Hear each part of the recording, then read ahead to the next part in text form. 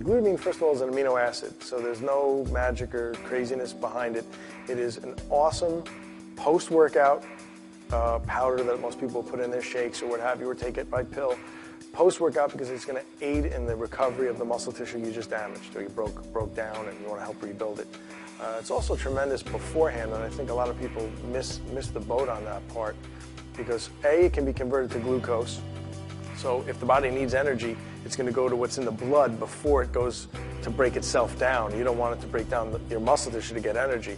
So it's going to go to, it's going to go to that first.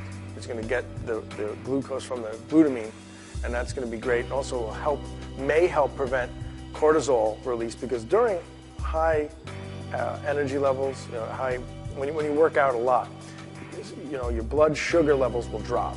And that, that drop in blood sugar will help, will release cortisol.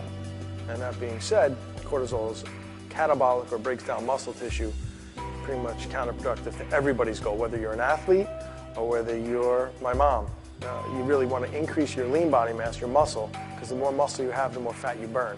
So that's the way people really want to change their bodies. Weight loss is really not the key.